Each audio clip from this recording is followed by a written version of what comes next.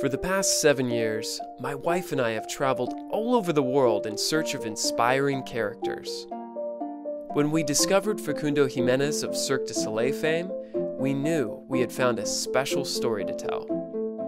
As soon you arrive to the tent, the tents have such a beautiful energy that no matter what you have in your head, when you come and see this tent, it's like pulling you, you know, to the show and pulling you to, the, to this beautiful circle.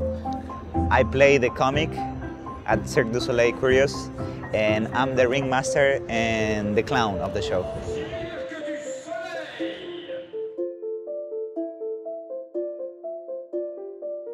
I started playing as a clown when I was nine years old. And this character especially, I think is the hardest character that I play in my career.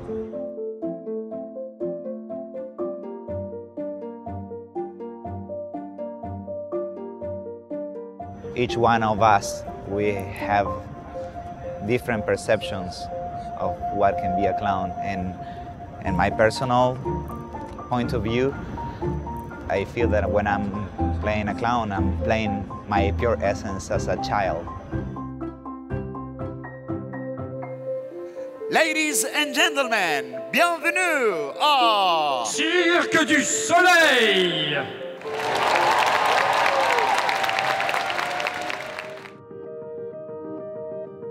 In my first interview with Facundo about his career as a clown and his insightful philosophies, I felt like I'd found a kindred spirit. We made plans to have him teach a clown workshop with our creative team in preparation for shooting a kids' TV show pilot, Mr. Greenheart's Treehouse. A few weeks later, he arrived in my hometown of Austin, Texas. To welcome him to our circus family, I greeted him at the airport on stilts. For the next several days, we would be hosting a master of his craft and listening to his wisdom. At the age of eight years old, I received my first red nose. The clown nose represents for me the last mask of theater. I feel like any kind of art have an evolution. So I feel already I went deep to, to the philosophy of clown and taking those values, those patterns, using it to, to represent a different way of presenting clown. And one of the most important points of being a clown is being exposed. They think they've been truly exposed, but always been hiding behind some characters. All right, let's get ready to start. No, go back. One more time. Standing in front of your peers and not saying a thing, not doing a thing. But Facundo said uh, that phrase, he said, savor the silence. Because it's genuine, because it's you, because you're not preparing anything, it's just scanning. Yes. Throwing the sticks was so fun. It gave everyone that heightened sense. You're connected with your partner, and that will help you a lot in improvisations. Then the, the game can go anywhere.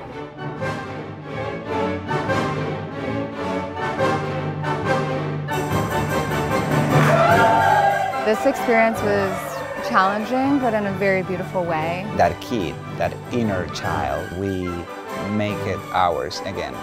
You don't play for them, you play with them. That's the difference. Facundo gave us a set of tools as actors to relate better to each other and amplify our essence onto the screen. I had taken a leap on the biggest original project of my life.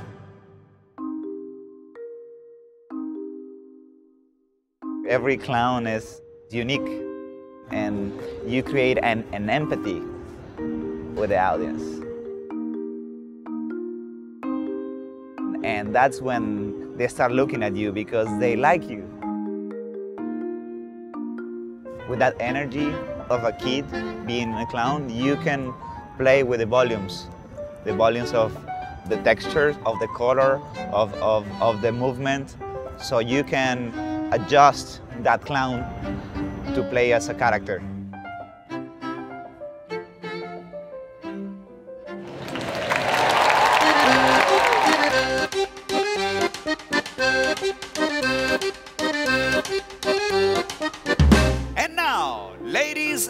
Gentlemen, et messieurs,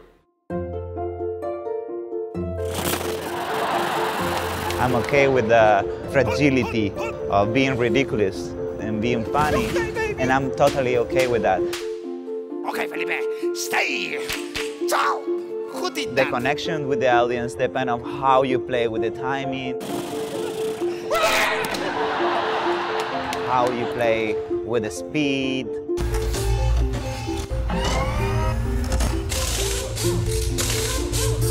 Incredible. Performing as a clown, you can open portals, you can create things that people don't see. Hey, open it. So you're opening their minds with imagination.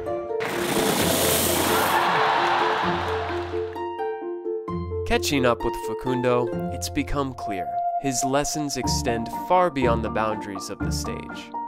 Sometimes we forget to play. We forget that life is an adventure. And when you're a kid, life is an adventure. You can go to the park, and you can stay in your room and play with whatever you want, and everything is fun. I think that this is why we don't have to forget to play and forget to laugh and to see the normal things like the first time. Get surprised of the small things in life. That for me is is beautiful. Facundo's philosophies have influenced the essence of our kids' TV show. We agree that life has more depth when we seek out play and use our imaginations. We'll never forget Facundo and the grand spectacle of Kurios by Cirque du Soleil.